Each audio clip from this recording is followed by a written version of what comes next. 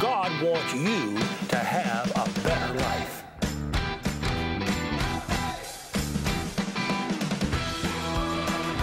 I believe as we choose, we can have a better life.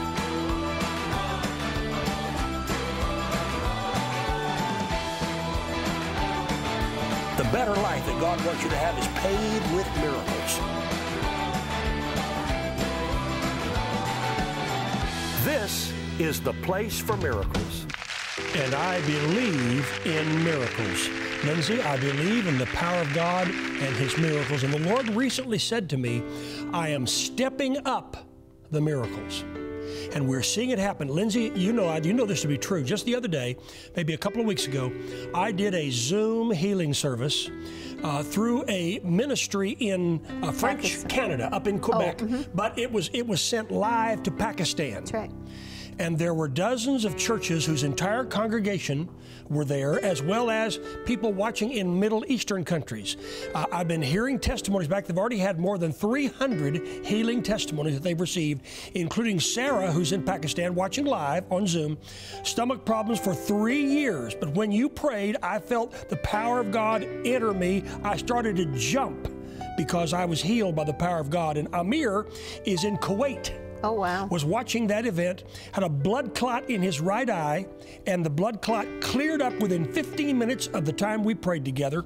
And then uh, uh, uh, John, who is a pastor in uh, Rawali, I hope I'm saying that right, it's in Pakistan, he said, I was watching, and after you prayed and encouraged us as ministers to lay hands on the sick, our congregation stayed for three hours while I laid hands on them. Wow. Lindsay, God is doing what He said He was going to do. He's upping the miracles. Well, I think that he's not doing as much of upping something. God's always wanted to pour out the miracles. I think what's happening, in a sense, too, is that we're believing for it so that he can up Well, the I'm miracles. believing for it. And as we believe it, you know, I've always thought, and I don't know why, I've always thought of it like a magnet theory. That God's got all these miracles and that we could magnetize them into our lives. You know, Jesus touched, when the woman touched the hem of Jesus' garment, he said, I felt virtue go out of me, went out of him, and that virtue went into her like a magnet. Why? I mean, to me, that was upping the miracles right there. Why? Because her faith, in a sense, magnetized those miracles, and she received what she was believing for. Lindsay, one of these churches was right on the Afghanistan border. Oh, wow, Pakistan good. Mm-hmm. and Afghanistan, were the two countries come together. One of the churches, and their congregation was there. Wow. Was there to, to, to see God performing miracles. Now, that's what I'm believing for. I'm believing for the miracle power of God. What is your need today? Lindsay and I are going to have a, uh, what I'm going to just call just a healing service. Going to pray over people's healings today. I've got tremendous testimonies, and, and when I when I read one, I'm going to stop and have Lindsay pray. Then I'm going to pray, and we're going to believe God for special miracles today. Lindsay, I'm declaring this as Healing Day. You know, I think that we need to go into agreement. It- you know, we can get into agreement with with okay, I'm going to say like um, virus numbers, and tomorrow they're different numbers. Or we can go into agreement with anxiety, and tomorrow the anxiety's not there. Or you can go into agreement with some report you heard, and three hours later it's a different report. When we go into agreement with the Word of God, the net result is what? The Word of God. Mm-hmm. The Word of God talks about healing and wholeness and miracles, signs, wonders. The Bible talks about Jesus and wonder working miracles. Why did Jesus come to the, the earth so that he could be crucified? Why? Because of some cruelty? He came to the earth for miracle signs and wonders. He brought heaven to earth. There's no disease, there's no worry, fear, torment, lack in heaven. God doesn't have to say, oh, let's go out to the grocery store because we're out of groceries. It doesn't happen. In heaven, there's He's no got lack. parts. He's got parts.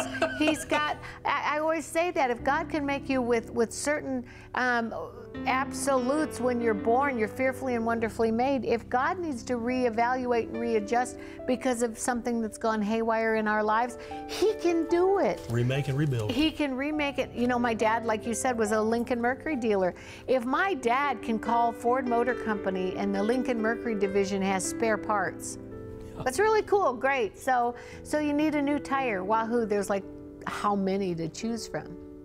Well, if Ford Motor Company cared enough about its product to make spare parts, how much more yeah. does God care about His creation? Yes. Fearfully and wonderfully made in His image. And He's not sitting up in heaven said, shouldn't have done that, suffer. No, He's God. He can take care of anything we have need of, but we have to stretch out to Him. The woman with the issue of blood, that's she right. had to stretch out to Jesus. Well, get yourself ready for a healing service in just a few minutes' time. Get your prayer request ready. Let your family and friends know about it. In just a few minutes, Lindsay and I are going to start this healing service. But right now, Jordan is coming to sing.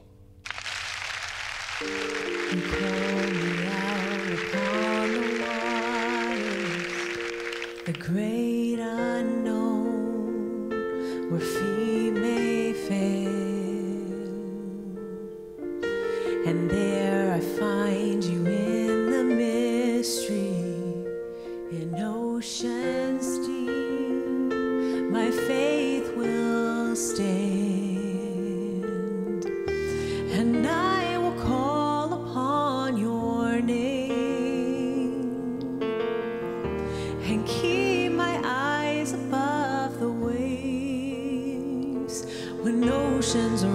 rise, my soul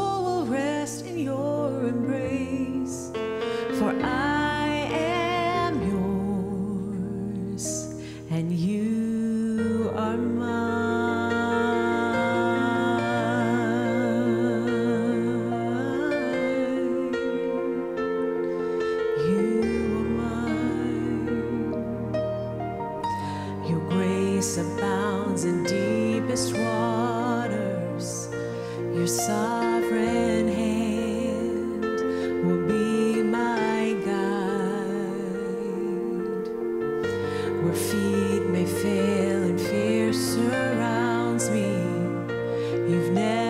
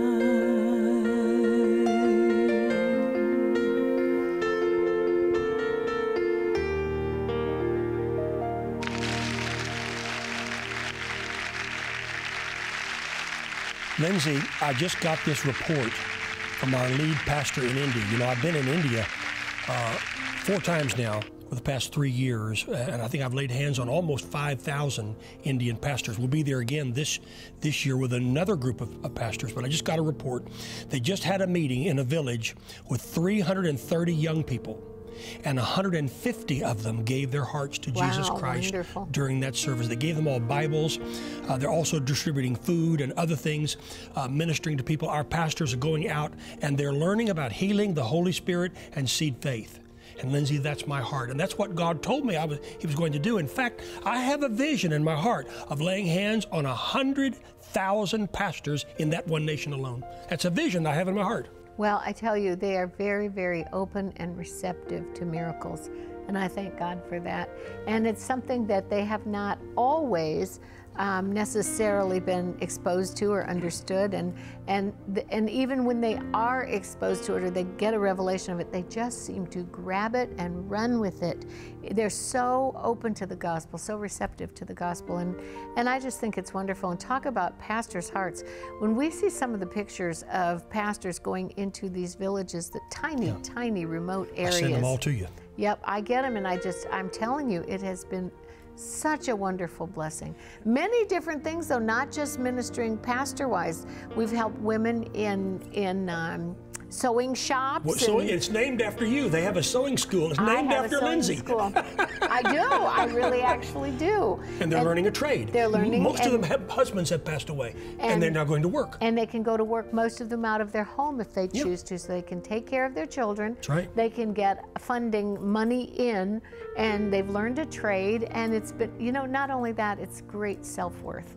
And I tell you, I, it's just been exciting. So a lot of the things that the pastors have been innovative in is healing. Now, the most import, important thing to me is so many of those pastors never knew that they could pray for the sick. Many of them told me, We've never prayed for the sick. We didn't know we could. And I taught them, you know, the message I teach on methods of healing? I've taught that all over the world on different ways that God heals. Now they are praying for the sick every day, Lindsay, and they're seeing miracles. And that's what touches my heart so much. Now, speaking of miracles, um, this is from Beatrice, who's down in Crowley, Texas. When you were at our church, Heritage I- of Faith. uh, yes, yeah, oh, you at our church, you prayed for people with glaucoma that leads to blindness. And I have been prescribed with eye drops to slow down the process. But when you came to our church, you said, if you're believing for healing for your eyes, I want you to stand up. And then you began to pray. I stood up, I took off my glasses, my eyes just shot. Now, these are her words. I started blinking nonstop. I couldn't control it. It must have been for 30 minutes. God has restored my vision and the diagnosis has changed. She is healed by the power of God. Praise the Lord. Praise the Lord. Now, Thank Lindsay, you, Lord. uh, there are a lot of people suffering with eye problems, glaucoma or cataracts or things, things, and I want you to pray right now because what God did in Texas, He can do where you are right now. I pray for you right now from the crown of your head to the soles of your feet. I pray especially for your eyes. I pray for your eyes to see. God really invented, created, and made our eyes to see. So I pray for your eyes to see and to see clearly. I pray for your vision to clear up. I pray for glaucoma or cataracts or any other diagnosis. I pray for God's perfect vision to come into your eyes. And I pray for you to have vision to see what God wants you to see. Maybe it's a spiritual vision. Maybe it's vision for a company. Maybe it's vision for a new idea or an invention. I pray for your eyes physically to be healed. I also pray for your eyes spiritually to be healed. In fact, I've been as I'm talking, I see somebody who is really seeing things through an unclear perspective. You've made some judgment calls maybe in business or maybe here or there or even of other people, and your eyesight has not been so clear. And you might have good eyesight, but your spiritual eyesight, your spiritual insight has been in a sense clouded by other thinking and other perspectives. But in the name of Jesus, I pray that you see through the eyes of God. You see through the eyes of potential. You see through the eyes of faith. And most of all, you see how God wants you to see. I pray for you physically, for your eyes to be healed, emotionally, for your eyes to see clearly. And I pray for your vision, even if it's provision. I pray for that for you in Jesus' name. That you see a way out.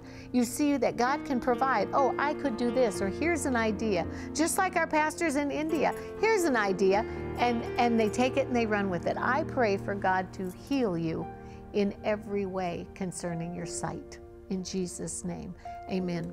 Praise God. Now, Lindsay, here's another one that I want you to pray over. This is Renee. She's out in the Phoenix area. She's had tremendous pain uh, in her esophagus. Uh, that goes, goes all the way down here, and the doctor said there's no cure for what, you, what she has. She wrote a letter to me, and, and I, I answered her letter and I prayed for her. She said, I want to tell you, I woke up the next morning with no pain. Now, Lindsay, there are people that have pain in their esophagus, they have problems in their stomach area, kidney, liver, lower tract digestion. Would you pray over people like that? Well, first of all, I don't believe God has created pain just for you. I really don't. I don't think God said, hmm, let's change the Bible and create pain. I think that Satan comes to steal, to kill, and to destroy. And I pray in the name of Jesus for pain to go. Let God arise and enemies scatter. I pray for pain, whether it's in your esophagus, your stomach, digestion, in your head, in your ears. Uh, you may have a pain in the neck. You may be a pain in the neck. You may be saying you have a physical pain in the neck. I pray for pain to go. I pray for you to swallow normally. I pray for you to digest normally. I pray for esophagus, burning, ulcer, um, ulcerated something, like an ulcerated esophagus. Now, I don't know if that's even a medical term, but I'm telling you, I pray for God to heal you. And i have got my hand in a specific place right here. I pray for God to heal you. Any kind of pain when you swallow right in here, uh, thyroid, glands, I don't even know all what's in there, but I pray for you to be healed. Your neck, um, what do you call those discs in your neck, mm-hmm. um, where you turn your neck? Yes. A bulging disc. Um, um what are those? Um, like fused, where it might have already been fused or Lindsay. need to be fused. Everything in your neck be healed. Yes. Be healed. Yes. Even for you to be able to turn your neck properly without pain. Uh, whiplash, anything that has created pain. I pray for you to be healed in Jesus' name. The Lord just said, name. tell Lindsay to stretch out her right hand right now and just pray in gen- general for healing. Just stretch I out your right hand. I pray for you to be healed in Jesus' name. You know, I love baseball. I love. I've I've been around baseball since the day I was born, I think, and I started going to Detroit Tiger games at two. And you know what you do when you throw out the first pitch? You toss it out. And I stretch out. Why? Because I am praying that as I toss something out to you, you receive it. Yeah. I pray that as I toss That's the good. word out to you through the Spirit of the living God, through these airwaves, I toss it out. As, as, as you can hear sound go off, can't you receive spiritual healing like you can hear something with your natural ear? I pray you can receive it. I pray for you to be healed. I send out Psalm 107:20. He sent his word to heal them and deliver them from their destructions. I pray for you to be healed and for you on the other end of my sending to receive it for you to be healed from any pain, anything, any sickness, any disease, any torment, any bad thinking, any any nervousness, any anything that just really doesn't line up with the word of God. I pray for you to be healed in Jesus name. There's a really Amen. powerful anointing on you, Lindsay, right Praise now. the Lord. That's why the, I think the Lord had me have you do that. Two other testimonies. Uh, a woman in Trenton, New Jersey, called for prayer for her sister diagnosed with lung cancer, and also a woman in Arcadia, California, whose niece niece's son had three masses that were diagnosed as cancer. Well, when we prayed, now the doctor says the sister is healed. There's no cancer, and the the niece's son. Now they found that the masses are not cancer after all. Well, God has performed a miracle, and in the Praise the authority of Jesus' name, anyone having any type of cancer, cancer in the blood, cancer in the bone, cancer in the breast, cancer in any organ in your body, cancer in the brain, any mass, any tumor, any growth, in Jesus' name, I come against cancer. You foul, tormenting cancer, you come out in Jesus' name. And I set my faith with you. And no matter what your healing need is, there's an anointing here. It's flowing through Lindsay, it's flowing through me right now. In the name of Jesus, I take authority over it. I pray, I believe, and I expect the best. I expect a miracle in the name of Jesus. And if you feel like you need further prayer, call the Abundant Life Prayer Group at 918 495 7777. Now, Lindsay, let's stay in this same attitude of faith and prayer as Jordan sings. Save me, oh God, from myself, from my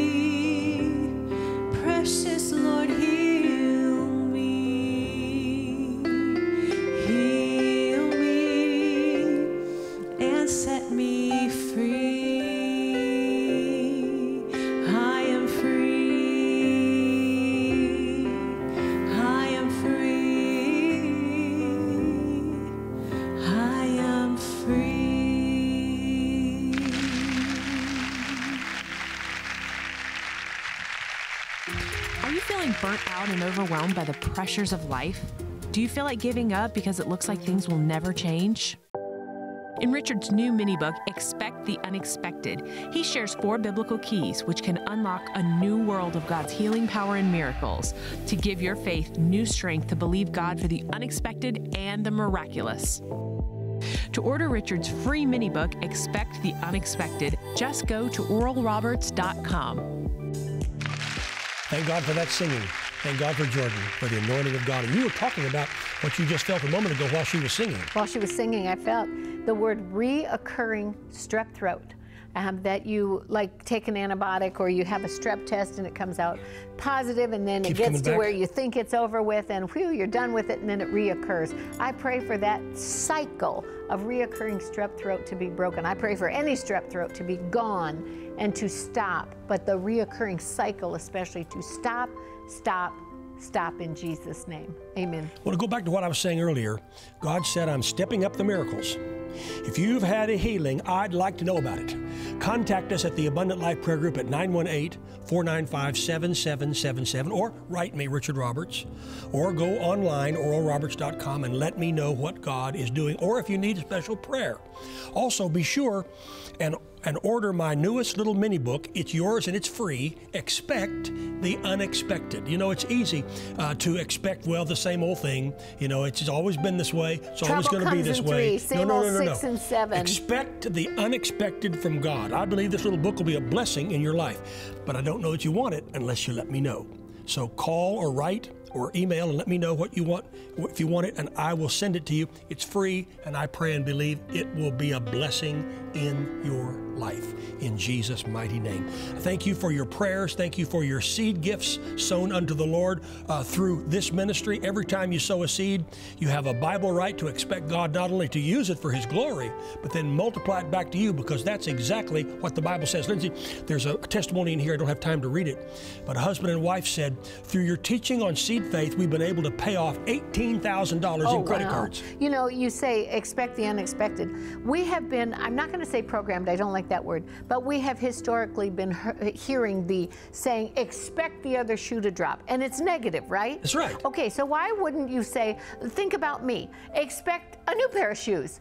I mean, you know, we could expect the negative or we could expect something that's more of a blessing. Why would we expect something that we don't even know is coming and we set up the platform to give the devil the opportunity to let the other shoe drop in a bad way instead of expecting the miracle? Or you said a minute ago, trouble comes in threes. Yeah, why? Why? Why? Why? Oh, I've only Who had two, that? so I guess I got to expect one more trouble. No, you expect, you know, and I believe when we step up our expectation, Yeah. God steps up those miracles. And that's why I wrote this little mini book, Expect the Unexpected from God Yep. for you. As I said, it's yours, it's free. You don't have to pay for it. No, no, it's free of charge. I want to give it to you. Just let me know you want it. Write me, Richard Roberts. There's the address. Or online, oralroberts.com, or call the Abundant Life Prayer Group, 918 495 7777. As I said, thank you for your seed gift. Every gift you sow helps us to reach the gospel of Jesus Christ out into people's lives. And don't forget, when you go to oralroberts.com, look up our Instagram, look up our website, look up our Facebook page, podcast. YouTube. YouTube. Oh, I'm doing a weekly podcast. a, a wonderful, and name some of your guests on your and weekly soon, podcast. soon you're going to be starting a podcast too, all right? Exactly. Well, I've had Bishop uh, T.D. Jakes. Jakes. I've had Joel Osteen as a guest. I've had Andrew Wommack as a guest. I've had LaDonna Osborne as T.L. Osborne's daughter as Yep. a guest, and many others. Uh, and and uh, Jerry uh, Savelle. Jerry I mean, some lovely, lovely uh, conversations Dog about Chapman. expecting a miracle. Dog the Bounty Hunter is, is going to come on. He, he agreed to come on. I love Dog. Duane Chapman, love that man. Love, love, love So him. uh, wherever you download your podcast, expect a miracle with Richard Roberts. Go to oralroberts.com, look up all the different things, and, And then don't forget your book. Soon you're going to be doing one. Soon. Soon. Soon and very soon, I'm going to be doing one. Because he said, no, no, I'm- I really do want to do it. I I'm really glad. do want to I'm do glad. it. Yep. Well, so we God are expecting a miracle. And you know what? Stay in that attitude of expecta- expectation. You know, as soon as this program comes uh, goes off the air and you may hear a phone ring or you may get something in an email or what. No, no, no. Stay in an attitude of expectation. Thank you, Father God, that you've already prepared my miracle. Thank you, Father God, that no matter what this day brings in the natural, you have already prepared my miracle in Jesus' name. Hallelujah. And get your testimony to us. If you have a healing testimony, let me know. Or if you need prayer, 918 495 7777. God bless you. I expect Him to do it. We'll see you next time here from the Place for Miracles.